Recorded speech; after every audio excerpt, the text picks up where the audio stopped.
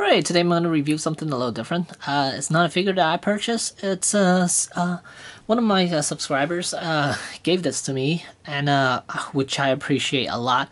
And um, uh, I don't ever ask for figures, um, but uh, yeah, he sent it to me, uh, so I, I got to make a review and give him a shout out. Uh, it is from uh, meser213. Um, uh, he he sent me a message um, wanting um, the which arm was it? Uh, let's see, one of the build a figure from the Marvel Legends line.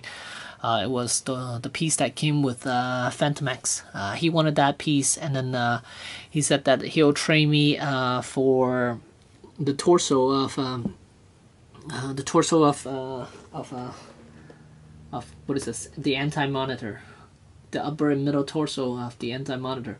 So um, I was like, uh, yeah, sure, it's fine. And then, so here it is. Um, this is what he sent me.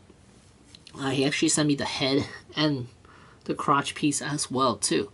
This is an anti-monitor, and uh, since I have the one of the arms for anti-monitor, even though it has a wrong uh, hand in it, and uh, I also have uh, the scarecrow that comes with comes with what the right leg of anti-monitor i've decided to you know what i'm gonna build it.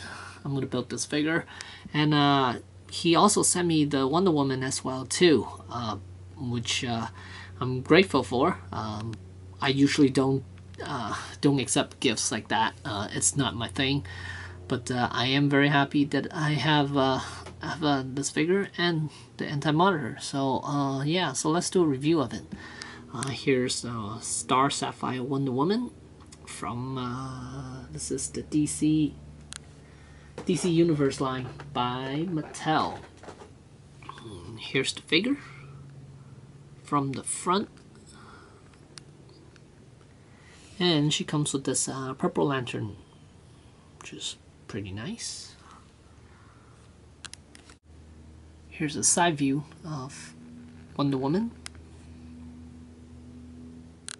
Here's the back view.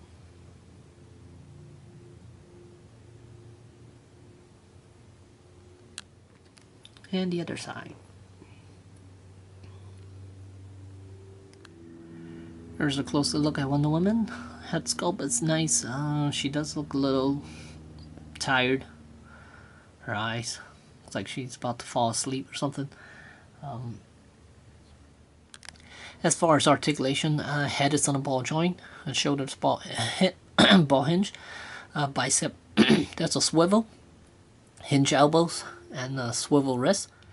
The stomach, there's a swivel there, could rotate, and then uh, the hips are these uh, uh, DC Universe uh, hip joints, and then thighs, there's a cut joint right there hinge knees, hinge ankles.